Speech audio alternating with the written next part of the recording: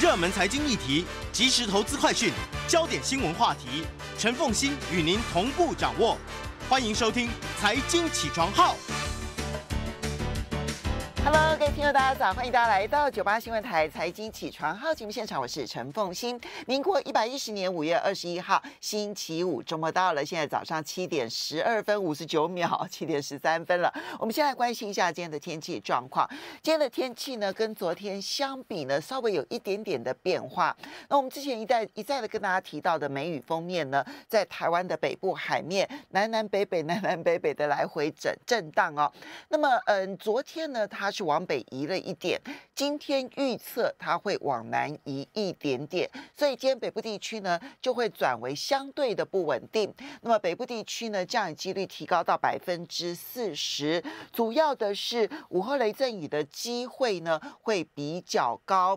当然，希望这一场雨呢下的能够像点样子，一方面解渴哦，就解大地之渴；二方面呢，希望能够有降温的效果。不过在雨没有下下来之前呢，因为它的这个封面前缘的热力不够稳定，仍旧会有高温的机会。所以今天呢，温度仍旧偏高，而且是那种闷热型的温度。所以请大家注意防晒、防中暑，多补充水分。另外呢，今天台电呢公布呢，那么最大的供电用。供电能力其实已经大幅提升了，因为核三厂的一号机呢加入了这个并联，然后再加上林口的火力发电厂加入并联，所以呢最大供电能量已经提高到了四千一百零八万千瓦。不过因为热的关系，所以估计呢最大的用电呢仍旧会达到三千七百八十万千瓦。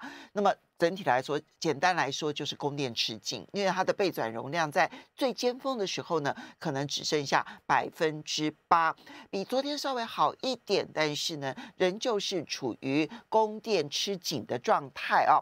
好，我们来看一下今天中央气象局的预测，北部地区多云短暂阵雨或者是雷雨，降雨几率提高到百分之四十，而白天的温度二七到三十五度，中部地区多云，降雨几率是百分之十。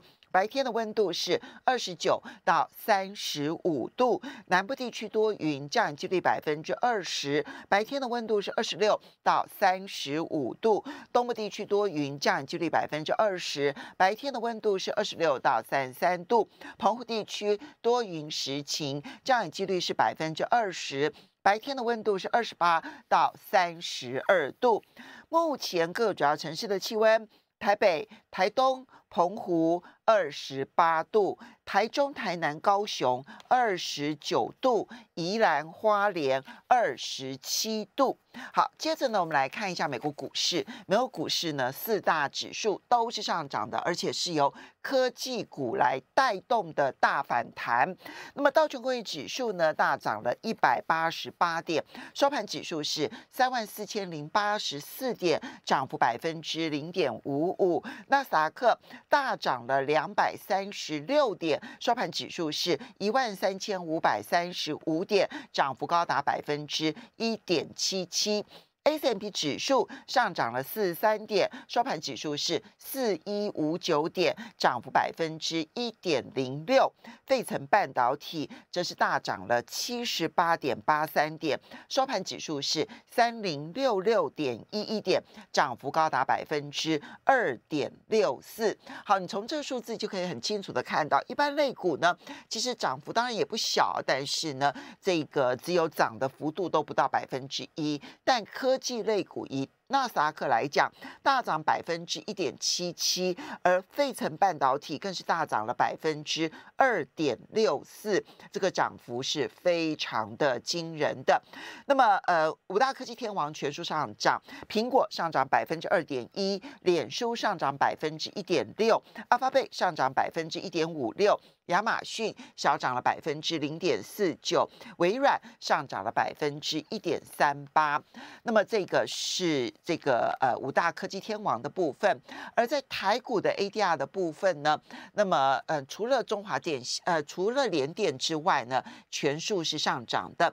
台积电的 ADR 上涨了百分之零点七八，红海的 ADR 大涨了百分之三点三三，日光的 ADR 小涨了百分之零。零点七八，联电的 ADR 下跌了百分之二点四一，中华电信的 ADR 上涨了百分之零点八二。好，美股大涨，尤其美股上涨啊，尤其是科技类股的大涨呢，带动了台指期的夜盘是上涨了一百八十八点。那么看起来今天台北股市是有机会开高哦。好，接着我们再来看到的是油价，纽约原油期货价格下跌跌了这个一点四一美元，每桶的报价降到了六十一点九四美元。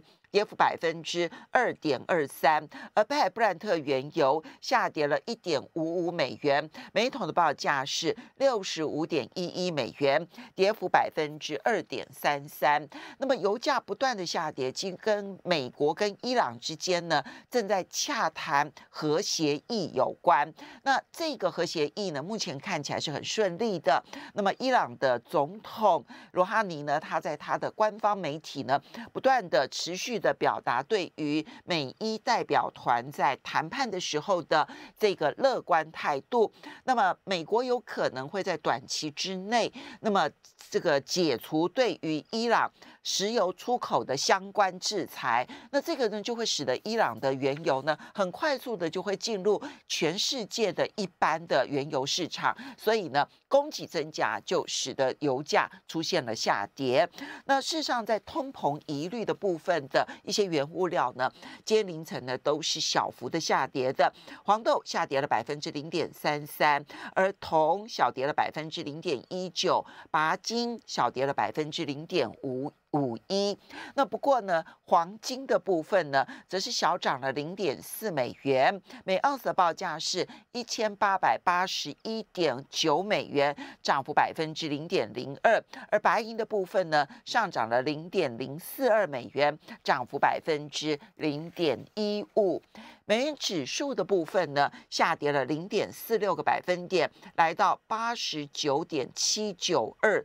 这个呢，在盘中的时候呢，一度跌破了八十九点七，来到八十九点六八六，创下了今年二月二十五号以来的新低纪录啊！所以美元呢，从三月底开始呢，呃，从二月底开始啊，那么这个呃，从三月底，对不起啊，应该是三月底，从三月底开始滑落至今啊，它的这个这个呃这个。这个下跌的这个状况啊，其实看起来是越来越明显了。那至于欧洲的三大主要股市呢，也是全数下跌的。英国金融时报白的股价指数下，呃，对，对不起。欧洲的三大主要股市跟美股一样，都是上涨的。那么，英国金融时报白股价指数上涨了六十九点，收盘指数是七零一九点，涨幅百分之一。法国巴黎政商工会指数上涨了八十一点，收盘指数是六三四三点，涨幅百分之一点二九。德国法兰克福指数上涨了两百五十六点，收盘指数是五三一五三七零点，涨幅百分之一点七。好，股市上涨，但是。是呢，你看到油价跟原物料的价格下跌，另外呢，美元指数呢也下滑，就很多的原物料理论上来讲，跟美元指数是有跷跷板作用的。但是呢，现在的情况刚好相反，就美元指数还继续的滑落，但是呢，原物料就开始走自己的路。所以现在看起来，几个价格之间的联动性呢，关联度已经不是这么样子的明显。所以你看到今天凌晨是股市是上涨的，美元指数是下跌的，黄金小。小涨，但是呢，这个原物料的油、白油跟这个铜还有黄豆是下跌的，那么油价也是下跌，它各自有各自的这个单独市场的供需的影响。好，接着我们就要来看一下呢今天的早报新闻。那么首先呢是美国呢昨天所公布的初次请领失业救济金人数呢。再度的创下了疫情以来的最低纪录。那么一周秦岭失业救济人数降到了四十四万四千人，这比上个礼拜的四十五呃四十七万人还要来的再减少哈，而且比预期也要来的少。但是值得注意的是，连续秦岭失业救济人数呢，反而增反而比预期要来的高，而且是增加的，增加到了。三十七万五千人，这比预期的三百六十四万人都还要来得多，也比前值就上个礼拜的数字三百六十四万要来的多，这个是矛盾的一个，就这个这个不平衡的这个矛盾的现象，其实已经出现了一两个月的时间了。就是初次请领失业救济人数表现越来越好，越来越好，越来越好，表示呢，因为失业、因为裁员、因为而失业而必须要请领救济人数的人减少。但是呢，一旦请领了之后呢，它会连续请领的这个人数反而比预期要来的多，这就跟呢这个现在市场上认为，因为呢美国的纾困金、纾困支票呢，使得美国的企业在寻找劳工的时候，除非加薪，否则的话呢，劳工宁可去领救济金，也不愿意就职啊。其实有很大的关系，所以美国至少已经有二十一个由共和党主导的州呢宣布。从这个联呃，从六月开始，哈，不是现在，从六月开始，将从联邦所支持的失业补助计划当中退出，好，所以这个这二十一个州的失业人士就没有办法。请领联邦所补助的失业补助金，好，那这个呢，后续会不会对于就业市场产生影响，值得观察。另外呢，在通膨的情况啊，我们来看这个德国呢，昨天公布了四月份的生产者物价指数年增率高达百分之五点二，这是创了十年来的最大增幅。这句话什么意思呢？就意味着他们因为原物料价格上涨，生产者的成本增加了。好，这。增加的幅度创了十年来的最大增加幅度，但能不能转嫁给消费者，现在还不确定。如果转嫁给消费者，那可能会加速通膨升温。另外一方面，我们看到的是是顾问公司 IMA s 亚呢这家公司呢，这个总裁呢，他们预估现在亚洲的疫情可能会加速美国的通膨升温。主要的原因是因为呢，亚洲的疫情包括了台湾、韩国、越南，还有印度的。疫情的升温呢，可能会使得供应链出现了断裂，而这个断裂呢，就会使得消费呃这个这个呃生产的厂商成本提高。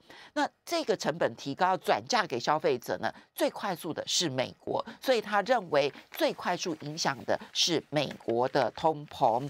所以呢，这个呃这个这个这家顾问公司呢，认为美国联准会恐怕没有办法拖到二零二三年才升息，他可能被迫。今年底之前就要升息，当然这还是属于少数的非主流意见呢。好，呃，但是通膨的压力是非常大的。另外，在中国大陆的部分呢，现在呢，为了担心通膨，出手压抑。这些原物料价格的飙涨，所以呢，在昨天这个中国大陆的黑色系商品的期货行情都出现了重挫，包括了铁矿砂、焦煤，还有螺纹钢、热压盘等等，这些呢都因为担心通膨，然后呢官方出手。那这出手的方式，当然有直接的限制交易，或者是说呢，他们可能采取的方式是将国家的原物料库存投入。市场都有可能压抑原物料价格的上涨。好，另外我们看到的是在这个碳价的部分了。那么欧盟为了要推广这一个减碳呢，那么在欧盟呢推出来的碳价交易这件事，就你排了二氧化碳当量的这一些温室气体的这些情况呢，你就必须要支付一定的这个。成本呢？好，那么现在呢，每公吨的价格已经飙升到五十六点三四欧元。在今年初的时候呢，它还在三十欧元上下，所以涨幅非常非常的剧烈。那么，嗯，根据这个路，这根据这个路福特公司呢所做的调查显示。多数的受访者呢认为，这个碳价的走势会持续的上升。二零二一年平均的碳价会在每公吨四十欧元附近，二零三零年会推升到八十欧元附近。但是呢，也有贝伦堡银行呢，他们大胆预测，今年底这个碳价会飙升到一百一十欧元，这个对于所有的排碳产业都会产生重大的影响。好，另外我们来看到的是比特币的部分呢。那么，呃，这个呃，财政部呢，这个宣布啊，他们要加紧对于比特币还有这些加密货币的监管，要求在币圈。所有呢交易超过一万美元以上的等值的这个加密货币的交易呢，要全数上报国税局。这个消息啊，因为比特币呢，在昨天晚上的时候呢，出现了大反弹。那么在一个晚上之间呢，就暴涨了百分之呃二十四小时之内暴涨了百分之四十。盘中的时候呢，曾经一度的飙升到。这个一块比特币呢是四万两千美元以上。那现在呢，因为这个美国财政部的宣布呢，稍微的拉回。那不过现在呢，仍旧在四万一千两百一十一美元，跟前一天二十四小时之前的三万两千多美元，这个形成强烈的对比。好，接着我们来看的是陆港股的部分呢。上证指数昨天小跌了四点，跌幅百分之零点一一。深圳成指上涨了五十点。涨幅百分之零点三五，香港恒生指数下跌了一百四十三点，跌幅百分之零点五。好，回到台湾的部分，那么昨天呢，金管会呢宣布，从二十四号开始啊，从二十四号开始到六月三十号。一律停止召开股东会，那估计呢有一千九百三十一家的股东会会延期到七月一号到八月三十一号举行。